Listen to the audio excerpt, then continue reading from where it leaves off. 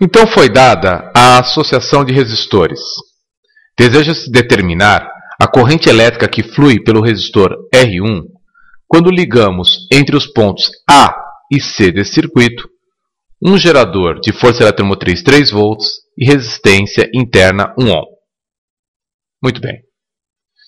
A corrente tem o seu fluxo dado do polo positivo da força eletromotriz para o polo negativo.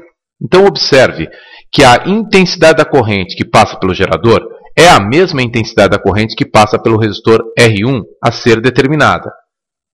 Logo, é a corrente elétrica total.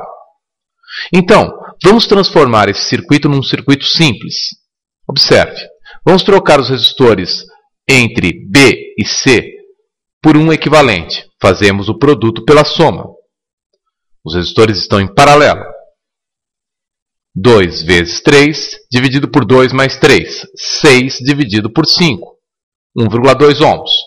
Então trocamos os dois resistores por um equivalente entre os pontos B e C de 1,2 ohms. Agora temos um circuito simples. A corrente elétrica que passa pelo resistor RBC é a mesma que passa pelo resistor R1, que é a mesma que passa pelo gerador. Então vamos aplicar a lei de Pouillet para determinar esta corrente. Lei de Pouillet.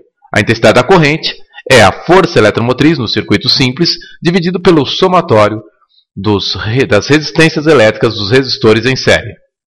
Então aí está. E igual a 3. 0,8 mais 1 mais 1,2. 3 dividido por 3. A intensidade da corrente no gerador é 1 ampere, ou seja, a intensidade da corrente no resistor R1 também é 1 ampere.